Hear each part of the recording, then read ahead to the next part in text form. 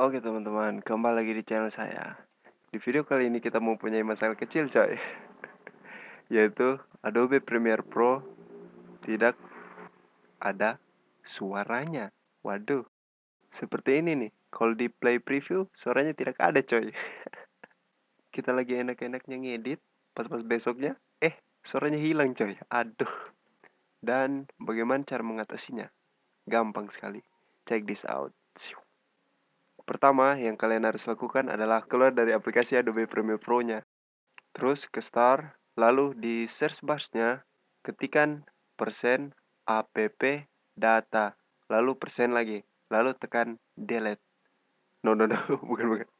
Tekan enter coy. Setelah terbuka, lalu ke file Adobe Nah, nanti terlihat ada file common. Nah, yang harus kalian lakukan adalah merubah nama dari file common ini terserah. Jangan dirubah sih. Maksudnya ditambahkan nama sedikit.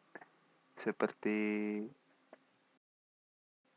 old, lama, tua, mantan.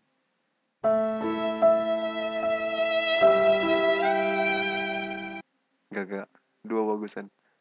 Dan setelah itu, buka kembali Premiere Pro kalian. Dan walah, suara udah muncul coy.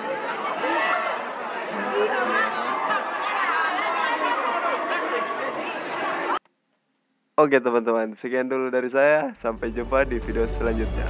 Bye.